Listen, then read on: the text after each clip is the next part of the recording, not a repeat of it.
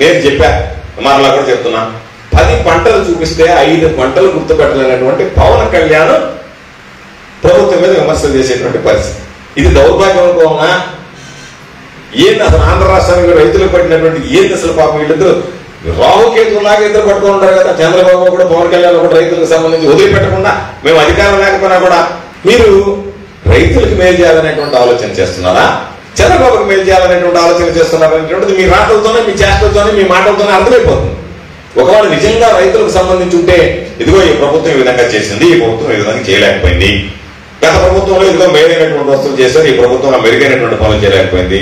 గత ప్రభుత్వంలో చేయలేకపోయారు ఈ ప్రభుత్వం చేయగలుగుతుంది అనేటువంటివి పారదర్శకంగా రాస్తే దాని మీద మనం విశ్లేషించడానికి ఏదన్నా పొరపాట్లు ఉంటే సరిదిద్దుకోవడానికి అవకాశం ఉంటుంది తప్ప లేని పొరపాట్లు ఉన్నట్టుగా చిత్రీకరించేటువంటి ప్రయత్నంలో భాగం తప్ప ఇంకెక్కడన్నా మీరు చేసేటువంటిది ఉందా ఈరోజు మొన్న ఒక వార్త వచ్చింది. జగన్మోహన్ రెడ్డి గారు ఒట్టొట్టు బటన్ నొక్కేశాడు అని చెప్పి పెద్ద వార్త. మే మేజర్ ఏంటంటే ఒట్టొట్టు బటన్ నొక్కడే మోసంగుడు అని చెప్పి చెప్పాను సరే నేను దానికి వివరణ ఇచ్చాను ఏమని ఇచ్చామంటే అయ్యా ఎక్కడ మోసం చేయలేదు ఒట్టొట్టి బటన్ నొక్కడు కాదు. బటన్ నొక్కితే డబ్బులు పడిపోతున్నాయి డబ్బులు పడిపోయాయి. తర్వాత ఒక కథ రాశాడు. కాకాణి మంత్రి కాకాణి పొంకాడు వీడియో కాన్ఫరెన్స్లో కమిషన్ అగ్రికల్చర్ చెప్పాడు డెబ్బై ఎనిమిది వేల మందికి ఇంకా పడలేదు చూసారా ఈ వార్త అని చెప్పారు అది చూస్తే ముఖాన ఉమ్మేస్తారేమో రైతులు అనేటువంటిది కూడా ఆలోచన చేయకుండా దానిలో ఉన్నటువంటి కథనం ఏంటి? యాభై లక్షల తొంభై రెండు వేల మందికి రైతు భరోసా ఇచ్చారు జగన్మోహన్ రెడ్డి గారు. మీరు రాసిన రాత ఏంటి? ఒత్తుట్టి నొక్కాడు అని రాశారు. తెల్లవారు నేను ఇచ్చినటువంటి వివరణ ఏంటి? ఒట్టుట్టి బటన్ నొక్కలేదు అని రాశారు. మీరు దానికి ఏం రాశారు? కాకండి బొంకాడు డెబ్బై ఎనిమిది వేల మందికి ఇంకా పడలేదు అన్నాడు. యాభై లక్షల తొంభై రెండు వేల మందిలో డెబ్బై ఎనిమిది వేలు అంటే ఒకటిన్నర శాతం.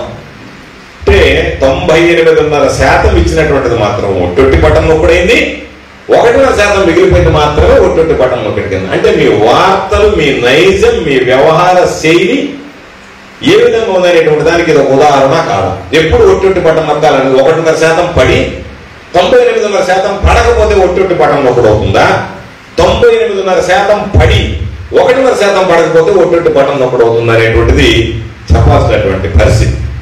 కాబట్టి రైతులకు సంబంధించి అన్ని విధాల అండగా నిలుస్తున్నాం. బీమాకు సంబంధించి ఎన్నడూ లేనటువంటి విధంగా రైతులకు సంబంధించినటువంటి బీమా సౌకర్యం కల్పిస్తున్నాం.